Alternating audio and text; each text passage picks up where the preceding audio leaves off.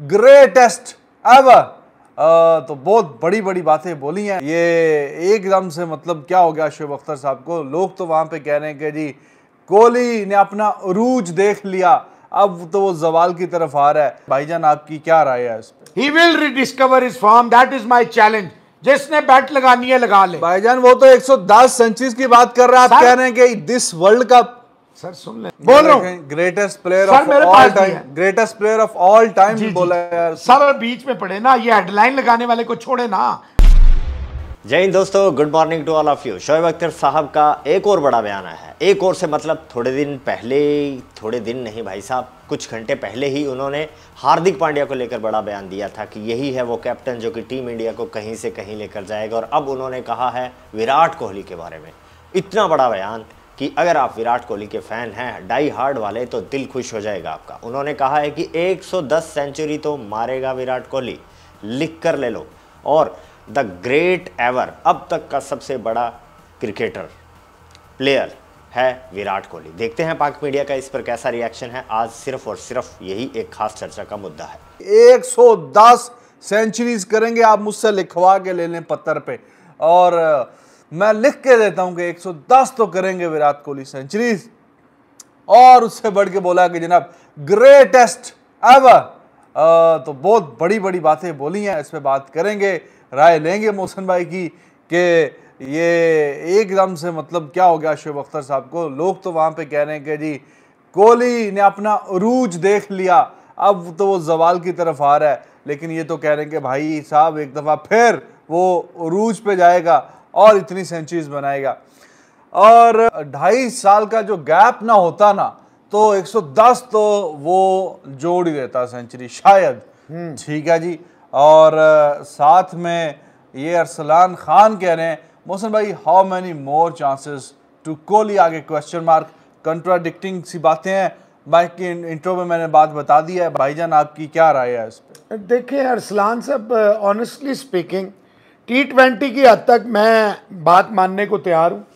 बिल्कुल तैयार हूँ कि यस क्योंकि देखिए मैं खुद एक बड़ा मैं how can I contradict my own statements my own words बात यह है भाई देखो मैं यंगस्टर्स के साथ था हूँ और रहूँगा। आई एम देयर वॉइस और मैं हमेशा कहता हूँ अगर आपने टैलेंट है टैलेंट है टैलेंट है तो वो अलमारी में तो नहीं रखना ना यार। उसको एक टाइम आता है बड़े से बड़े देखें दुनिया क्रिकेट ने बड़े बड़े नाम देखे, ठीक है, उस वक्त टीवी नहीं था, सोशल मीडिया नहीं था, डैश ड्रामा नहीं था, हाइप नहीं थी, स्टारडम नहीं था। जैसे सन डोनेट ब्रैडमैन जैसे लोग शायद ही दोबारा ज़िंदगी में आए ऐसी चीज़ें। अब तो खैर क्रिकेट कम और कमर्शियलिज्म ज़्यादा हो गया ना। उस वक्त क्रिकेट होती थी। हनीम मोहम्मद साहब थे। आप हमारे पड़ोस में चले जाएँगे तो रिजवान अदर साहब, आपको बिशिंग सिंह बेदी साहब वेंकट राघवन साहब और प्रसन्ना साहब, उसके बाद सुनील गवास्कर साहब की, फिर कपिल देव साहब और फिर द अल्टीमेट। मेरी नज़र में उससे बड़ा किंग शायद ही कोई पैदा हो, जिसका नाम है सचिन रमेश तेंदुलकर। तो हमने उनका भी एरा देखा है ना, वो भी एरा गया है। तो ऑब्वियसली हर एक ने आना है और जाना है। जहाँ तक विराट कोहली की बात है तो अगर आप मुझसे पर्सनली पूछ रहे हैं तो I will love to see Virat Kohli playing this T twenty world cup he will rediscover his form that is my challenge जिसने बैट लगानी है लगा ले। भाईजान वो तो 110 सेंचुरीज की बात कर रहा है। आप कह रहे हैं कि दिस वर्ल्ड कप सर सुन लेना। मैं टी ट्वेंटी की अभी बात कर रहा हूँ ना। 110 सेंचुरी उसने ये नहीं कहा वो टेस्ट में करेगा। उसने इंटरनेशनल कहा है। इंटरनेशनल टेस्ट भी शामिल है वनडे भी शामिल है और टी ट्वेंटी भी शामिल है। ऑब्वियसली इंडिया बहुत ज़्यादा टेस्ट खेलता है, इसमें कोई शक नहीं है। क्रिकेट सबसे ज़्यादा इंग्लैंड ऑस्ट्रेलिया इंडिया यही मुल्क खेलते हैं राउंड द ईयर खेल ही रहे होते हैं। इंडियंस को कम ही रेस्ट मिलता है, ये बात सच है। और जितने प्लेयर आ रहे हैं, वो फिर कब खेलेंगे? उनको मौका मिलना चाहिए। दे आर टू गुड जैसे रोहित शर्मा ने कहा कि ये जो आईपीएल था, इसमें बहुत सारे आए हैं, जो आगे चल के टीम इंडिया के लिए रॉक करेंगे तो मैं इस बात को मानता हूँ। अच्छा ठीक है दो बातें उसने बोली हैं। आ, उस पर हम कोशिश करेंगे बात करें। और एक तो बोला है दस सेंचुरीज वाली और एक बोला जी ग्रेटेस्ट एवर ठीक है। ठीक है दो बातें बीच में जो उसमें।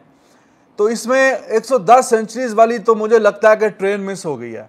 और चालीस सेंचुरीज और बनाएगा तो 110 यहाँ ढाई साल से एक ही के इंतज़ार में लोग कह रहे हैं इंतहा हो गई इंतज़ार की। कब आएगा वो लम्हा? जब इकहत्तरवीं सेंचुरी आएगी और वो बल्ला लहराएँगे। बाकी फिटनेस है उसकी लाजवाब। और साथ में मशवरा भी दे रहे हैं कि 45 साल तक वो खेले। तो 45 साल तक आ, नहीं इतना मेरे ख्याल में वो खेलेगा भी नहीं। और इतनी फॉर्म आई डोंट नो कि यानी कि 10 साल और। 88 में पैदा हुआ था तो अभी कितने चौंतीस साल का हो गया तैंतीस चौंतीस साल का। तो यानी 10 11 साल और खिला रहे हैं और कह रहे हैं पैंतालीस साल तक वो खेलता रहे। आ, ऐसा नहीं लगता कि पैंतालीस साल तक और छः सात साल I guess he would play more close to forty years शायद के अलविदा कह दे क्रिकेट को। लेकिन 110 वाला भाईजान ढाई साल से तो कोई सेंचुरी नहीं आई। अगर ये ढाई साल में जिस रफ्तार से वो जा रहा था तो 10 तो और आई जानी थी। तो 80 के पास काम पहुँच जाता। Then we could have you know we could have set that कि हाँ अब हो सकता है कि 110 वाली। लेकिन अब अगर वो सचिन का रिकॉर्ड भी तोड़ दें तो ये भी बहुत uh, बड़ी अचीवमेंट होएगी। वैसे भी 100 सेंचुरी अपने आप में बड़ी अचीवमेंट है। हाँ पंद्रह से दस से पंद्रह सेंचुरियाँ डेफिनेटली आएँगी। तो फिर तो अगर वो छह सात साल खेल गया तो बात तो ठीक हो जाएगी शोब अख्तर की। एक सौ दस हो जाएँगी। वो नहीं खेलेगा छह सात साल मैं आपके साथ इस पे जाऊँगा नहीं खेलेगा। हम्म। बहुत मुश्किल है इम्पॉसिबल है। मुझे तो ये दो तीन साल भी मुश्किल लग रहे हैं मैंने इसीलिए आपको एम्फोसाइज किया अगर अभी तक तो जिस रफ्तार से सत्तर सेंचुरीज बनाई है वो तो लाजवाब है।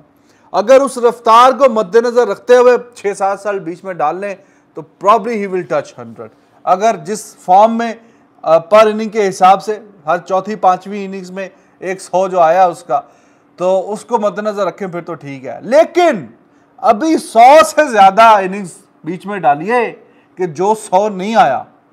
मतलब इमेजिन ये वो विराट कोहली था, एक इनिंग्स में दो दो, एक एक सीरीज़ में दो दो सौ करने वाला। आप कितना मुतफिक हैं शेब अख्तर की बात से that he is greatest ever Kohli? नहीं नहीं नहीं, आपने रिजवान अदर साहब, उन्होंने ग्रेटेस्ट जो है ना उन्होंने सचिन तेंदुलकर को कहा है। जो ग्रेटेस्ट इनको विराट कोहली को कहा है वो मैं आपको भी बताता हूँ क्या कहा है। अच्छा। उन्होंने कहा वो डाउन टू अर्थ है। हमेशा अच्छी तरह मिलता है। मैं सचिन तेंदुलकर साहब की बात कर रहा हूँ। वो क्या वो ग्रेटेस्ट ऑफ़ ऑल टाइम है। विराट कोहली के हवाले से उन्होंने जो कहा है एग्जैक्ट वर्ड्स में आपको बताता हूँ। हम्म। उन्होंने ये कहा है कि वो वन ऑफ़ द ग्रेटेस्ट है। और जो वो डिजर्व करता है he comes very hard on his critics वो कहता है कि जो उसकी बेटी को, उसकी बीवी को, उसकी फैमिली को बीच में लाते हैं, उन्हें शर्म आनी चाहिए। विराट कोहली ने जो इंडिया के लिए किया है, जो सत्तर, सौ किए हैं, जो उसने पैशन दिया और रिजवान अदर साहब आईसीसी के सारे मुल्कों ने जितने जीते हुए हैं ना इंडिविजुअली उससे ज़्यादा आईसीसी के नौ दफ़ा आईसीसी के जो है, विराट कोहली अकेले ने जीता हुआ है। उसने कहा है इज़ द ग्रेटेस्ट उसको रिस्पेक्ट दें। जो वो डिजर्व करता है उसकी फैमिली उसकी बच्ची उसकी बीवी उसको मत लाए। और मैं आपको बताऊँ कि वो ए, मुझे कोई शक नहीं। ये डेढ़ दो ये मैं शोएब अख्तर के लफ्ज बोल रहा हूँ। Greatest player of all time greatest player of all time बोला यार। सर बीच में पड़े ना ये हेडलाइन लगाने वाले को छोड़े ना। आप खुद जर्नलिस्ट हैं हेडलाइन। आपको पता क्या लगती है ना? मैं आपको वर्ड्स पढ़ा देता हूँ। जो एग्जैक्ट वर्ड्स है ना तो हेडलाइनों पे नहीं जाते होते ना मेरा भाई? सही है दोस्तों, क्या स्पीड थी वो? हर दूसरे, तीसरे, चौथे मैच में सेंचुरी आना, बस विराट विराट विराट, किसी, हर किसी की ज़ुबान पर बस एक ही नाम होता था, किसी और की बात ही नहीं होती थी। विराट कोहली का जलवा ही, उनका खौफ ही ऐसा था, और अब तक बरकरार है। अब तक सामने वाली टीम को, सामने वाले बॉलर को स्पेशली ये लगता रहता है कि न जाने विराट कोहली में वो वाली रूह कब आ जाएगी। फैंस भी यही देखना चाहते हैं कि पता नहीं वो विराट कोहली कब आएगा। क्या आपको भी लगता है विराट कोहली इतने साल खेलेंगे जितने साल का एस्टिमेट यहाँ लगा हुआ है और इतनी सेंचुरी मारेंगे, इतनी की शोएब अख्तर ने कही है? आपका यहाँ हुई बातचीत पर क्या सोचना है, ज़रूर बताइएगा। मिलेंगे नेक्स्ट वीडियो में इजाज़त। जय हिंद।